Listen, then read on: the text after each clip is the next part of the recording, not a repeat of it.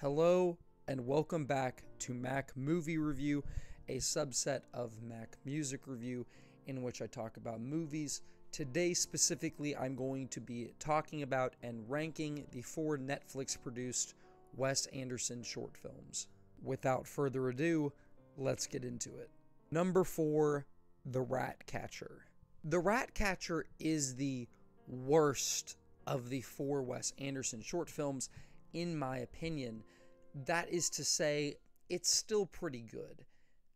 There's a lot going for this short film. It is probably the most comedic out of the bunch. Ralph Fiennes, or however you say his name, is giving a really great performance, very wacky performance, probably the weirdest thing he's ever done. He's usually a very couth and sophisticated actor, and he is in these other short films, but he's just a little bit unhinged and weird playing the Rat Man.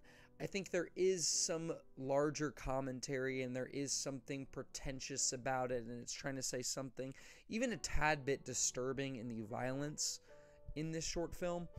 But I didn't get a lot out of it personally. I got something out of all of the other films beyond entertainment, which I think really makes the other short films pretty great. But this one was just pretty good. Number three, Poison. Poison is an extremely well produced short film, extremely well directed, just in the way it conveys tension. It's also very well acted. The cinematography in this one is especially cool. All of those shots on Benedict Cumberbatch just on his back, all of the shots where the camera will be a little bit more adventurous as it follows Dev Patel in and out of the room. Uh, all the stuff with Ben Kingsley. I mean, it's it's really just an extremely well made short film that once again, uh, like the Rat Catcher, didn't make me feel that much. And the ending really left me scratching my head. Once again, I feel like there's some bigger picture or message or moral or something that is supposed to be conveyed by this ending but it really just left me with a strange feeling, kind of in a good way, because I really did feel something, but I don't really know how to articulate how this short film made me feel. Number two, The Wonderful Story of Henry Sugar. This one really blew me away. I was extremely just hooked from the very start. Wes Anderson's signature directing style is just in full force throughout this entire short. His quirky sense of humor it was very funny. Um, I said the rat catcher might be the funniest one. I would say that that one is the most comedic in tone, probably. But I would say that the wonderful story of Henry Sugar made me laugh a lot more. I think Benedict Cumberbatch was fantastic. Everybody is shouting out Dev Patel's performance. I think he is really amazing. Ben Kingsley was great. Ralph Fiennes was great. Everybody involved did a fantastic job. It's visually just wonderful. It's amazing.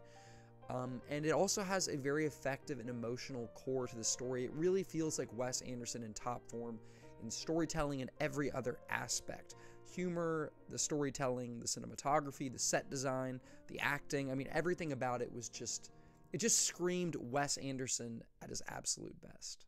Number one, The Swan.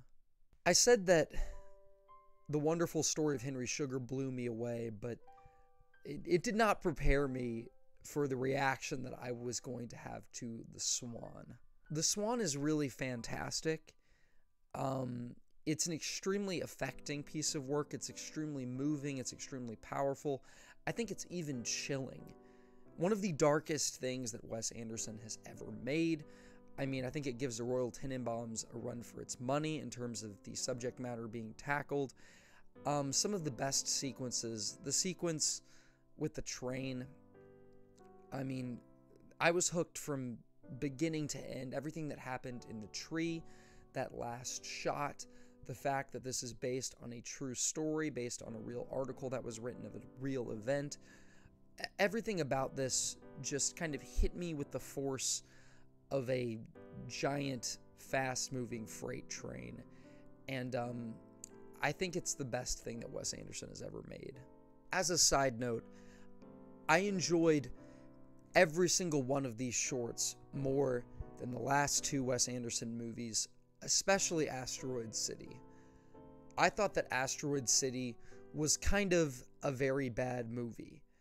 Um, And for you to understand my thoughts and understand where I think Wes Anderson has gone off the rails in terms of his being a little bit self indulgent, I shouldn't say a little bit, being extremely self indulgent and pretentious and frankly annoying, you should watch my friend Bradley Schumann's video um, titled Wes Anderson Isn't Wes Anderson Anymore.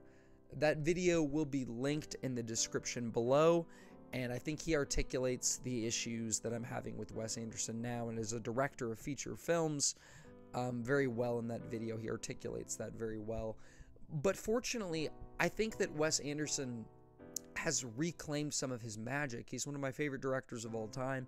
And I think these short films really show that he can have a human perspective. And maybe when he is doing these artsy, specific little short stories, that he is just more effective doing short format work. Maybe he's just better at doing smaller stories. But I got more out of this than I did out of the short stories in French Dispatch, and maybe that's because that was arranged as a film and it didn't feel extremely cohesive. But when you can in you know individually separate the short stories, you get a complete picture with each individual film.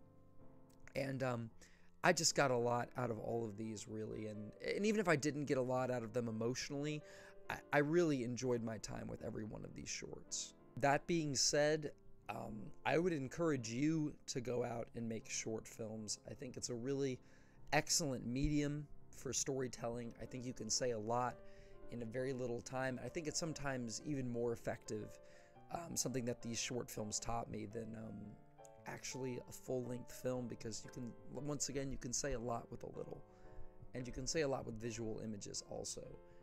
Um, in any case, I'm going to watch more movies. Thank you for watching this video. Have a great rest of your day.